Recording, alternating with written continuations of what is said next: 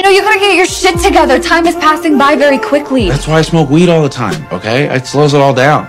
Fucking See, I'm worried about you. Wh- Why now? You never gave a shit. You like literally never cared until this second. Like what? What gives? You never looked out for me once. You're my older brother. You're supposed to look out for me. You, you, you just guilty because you're leaving? Now all of a sudden you're afraid I'm gonna die? I was gonna die anyway, whether you stay or not. Are you gonna hurt yourself? Probably. Yeah, I'm probably gonna hurt myself. I don't know how, but yeah. If anybody could do it, it's me.